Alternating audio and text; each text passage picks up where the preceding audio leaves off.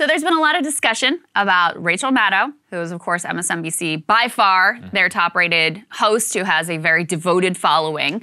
And uh, she went through contract negotiations. She basically was able to secure for herself the ability to step back from her primetime 9 p.m. show where she has been for years and years and move to more of a weekly role. In addition, we have seen over the past uh, the past several weeks, she has actually taken a hiatus and had her chair filled by a range of hosts. Uh, Ali Velshi was one. Yeah. I think Ayman Mohyeldin filled in. Uh, sometimes they had sort of a rotating cast of characters who sat in the chair. So there's been a lot of speculation about how exactly this is all going to shape out. It's obviously very important for MSNBC that basically doesn't have a single other host that actually drives ratings. She returned to her show and addressed the plans directly. So let's take a listen to what she had to say. So here's the plan. I'm back. I'm going to be here all this month, Monday through Thursday nights. Um, now, for big news events, for things like the lead up to the election, I will, of course, be here more than that.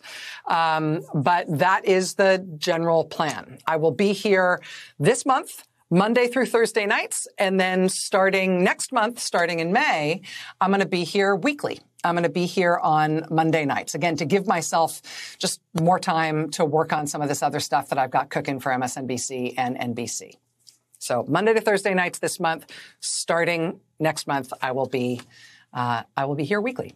It's hard to overstate what a dramatic shift in the cable news landscape Yes. this ultimately is. I mean, we talk about all the time, like putting their ideology and your feelings about these individuals aside. Basically, Tucker and Rachel are the only two people who really have this sort of like committed fan base where no matter where they are, no matter what time of day, they're going to show up for them. So, for this to be the last month of Rachel doing her show, Monday through Thursday and going to a weekly basis, this is a devastating situation for MSNBC. And just to put some numbers on it, we covered this before. While she was on leave, ratings dropped 26%, like that. Just 26% of the audience disappeared because it wasn't Rachel.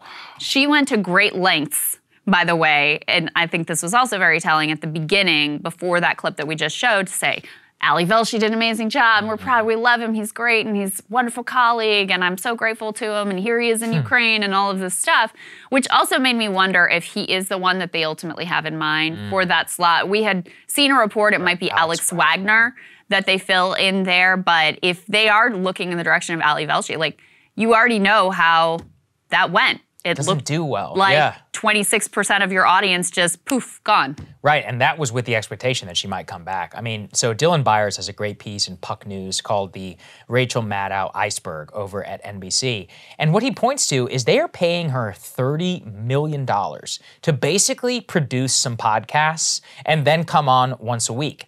Now, to justify that, she has to bring in more than that in value. And maybe that is the case. I don't know. But he points to the real issue that an NBC management has had. They've had almost 200 days since that new contract was negotiated. And their whole idea is a fourth hour of MSNBC's Morning Joe. That's that that was the brilliant plan. Right now, Joe Scarborough is the star of MSNBC. So much so, he's got to be on the air for four straight hours uh, because they have nobody else. Now, in terms of their bench, he points to the same thing. They don't have anybody they can realistically hire because there doesn't, there isn't really anybody else who is able to do that. You need to actually innovate within the format. They don't actually want that, and at the same time, they really are screwed. Like when he, what they point to is he would probably be better off is not having news at 9 p.m. and just putting Shark Tank on MSNBC. That might actually be a realistic, probably be better off for the country. Well, too. back when I was at Yeah. MSNBC, I don't think they still do this, but um, they would play that show Lockup oh my god, on the weekends. You know that show? It's like some trashy, like, like inside the show inside yeah. the prison kind of a show. They would play that on the weekends because they didn't have like a full weekend lineup, and um, it would outperform the, Yeah, oh, the I'm news sure. channel. Yeah, of course. easily. Right. Um, so yeah, I they're in a real. I mean, it's impossible to succeed with the model that they have because ultimately, what are they? Like, it's just Democratic Party cheerleading, and so they are totally subject to the whims of the news cycle. Um, you know, CNN crushes them when it comes to some sort of breaking news event, like what's going on in Ukraine or the beginning of COVID. CNN really um, sort of eats, eats their lunch then. And then the, the bump they get is um, around election cycles. So I'm sure, you know, next presidential election cycle, they'll get another bump in the ratings and all of that.